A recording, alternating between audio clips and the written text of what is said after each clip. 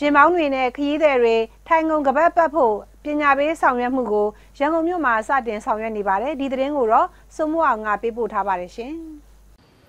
ရန်ကုန်မြို့မှာရင်မောင်းတွေနဲ့ခီးသည်တွေထိုင်ကုန်ကပတ်ပတ်ဖို့အတွက်ပညာပေးဆောင်ရွက်မှုကိုနိုဝင်ဘာလ၁ရက်ကဒဂုံမြို့နယ်ပြည်လန်းရှိတော်ဝင်စင်တာအနီးမှာပြုလုပ်ခဲ့ပါတယ်။ရန်ကုန်တိုင်းပြည်ကြီးစိုးရဖွဲ့ကနေပြီးခီးသောပြည်သူတွေရန်ရည်ကင်းရှင်းရေးရင်းစည်းကမ်းလမ်းစည်းကမ်းကိုဥပဒေတိုင်းလိုက်နာစေဖို့အတွက်ဆောင်ရွက်နေတာပါ။ ခပတ်ပတ်ချင်းရှိမရှိပညာပေးကာလကိုနိုဝင်ဘာလ၁ရက်ကနေဒီဇင်ဘာလ30အထိလှုပ်ဆောင်သွားဖို့သတ်မှတ်ထားပါတယ်။ဒါတလောပညာပေးကာလမှာသူတို့ခပတ်တွေဖြုတ်တော့တော့မှသူတို့ပြန်တက်ပြီးတော့ဟိုစောင်းရမှာပေါ့နော်နောက်ပြီးတော့အခုနောက်ပိုင်းကားတွေကျတော့ကျွန်တော်တို့စစ်စီအထက်နောက်ပိုင်းကားတွေကိုဒါဟိုခပတ်တွေအားလုံးပါမယ်ဒီကညဒီလိုပါမှကညနာကလည်းခွင့်ပြုမယ်ဆိုပြီးအဲ့လိုပြထားပါတယ်နောက်ပိုင်းဆိုရင်ကျွန်တော်တို့ဟို ရေးယူမဲ့အပိုင်းမှာဆိုရင်ဒီ2019တလာပိုင်းကစပြီးတော့ဗောနော်တလာပိုင်းတရက်နေ့ကစရေးယူမဲ့အပိုင်းမှာဆိုရင်ဒီအားလုံးလိုလိုပါပါတယ်ဘာကြောင့်လဲဆိုတော့ဒီအကုန်လုံးဒီအခုလိုပညာပေးနဲ့ညွှန်ကြားထားပြီးလည်းဖြစ်လို့အခုအသိပညာပေးထားပြီးလည်းဖြစ်လို့ကျွန်တော်တို့ဆက်ပြီးတော့ရေးယူဆောင်သွားမှာပါဟုတ်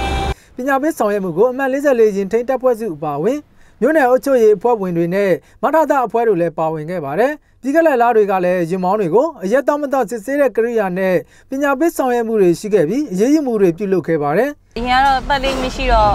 ကားသွားရင်းနဲ့မှအတန်မီရောမှကောက်ပတ်လိုက်တာမျိုးပေါ့နော်။အရင်ကတော့အဲ့ဟိုစားလေးထက်ထက်ထားလေးရှိရဲဆိုတော့ဟုတ်အဲ့ဒါလေးပဲအကျင့်လေးလှုပ်လိုက်လို့ရှင်တော့ဆင်ပြေပါတယ်။ အော်ကျွန်တော်ကတော့ဘယ်လိုပြောလဲဆိုတော့ဟိုတချို့ကားတွေကတော့ဗျာနောက်နောက်ထိုင်ကုန်မှာကပတ်ပါတဲ့ကားတွေရှိတယ်မပါတဲ့ကားတွေလည်းရှိတယ်ဗျာအဲ့တော့ပါတဲ့ကားတွေဆိုရင်တော့ခီးတွေကတော့ပတ်ရင်တော့ပိုကောင်းတာပေါ့ဗျာခီးတန်ပတ်ဦးဆိုရင်တော့သူတို့ဘယ်လိုရေးဦးလဲတော့အဲ့ဒါတော့တခြားတော့မသိဘူးဗျอืมတပတ်ပတ်တာတော့ကောင်းပါလေအဲ့ဒါအကြီးဘာညာဖြစ်တယ်ဆိုတဲ့ခါမျိုးကျတော့ကို့မှာလုံလုံမှုစိတ်ဖြစ်တာပေါ့ဟလာနည်းနည်းတော့အခက်အခဲဆိုတာပတ်နေပတ်ကြကျွန်တော်တို့ဗမာမျိုးမျိုးရဒီလိုမျိုးပေါ့ပတ်နေပတ်ကြမျိုးတဲ့ခါကျတော့ အစကတော့နည်းနည်းတော့အခက်အခဲရှိတာပေါ့နော်။ဥပဒေအရရန်ကုန်တိုင်းသားကြီးစီပင်နဲ့နမိတ်ပြင်ပမှာပြေးဆွဲနေတဲ့ရင်မောင်းတွေအပြင်ရန်ကုန်မန္တလေးအမြန်လမ်းမကြီးပေါ်မှာပြေးဆွဲနေတဲ့ခီးသက်တင်ရင်မောင်းတွေနဲ့ခီးသက်တွေပါခပတ်ပတ်ရမှာပါ။2019ခုနှစ်ဇန်နဝါရီလ1ရက်နေ့ကစပြီးခပတ်မတက်တဲ့ရင်မောင်းတွေနဲ့ခီးသက်တွေကို2015ခုနှစ်မတော်ရင်ဥပဒေ94-500အရာ3000တက်မပိုတဲ့တံငွေချမှတ်အရေးယူမှာဖြစ်ပါတယ်ကျွန်တော်စိုးမိုးအောင်ပါ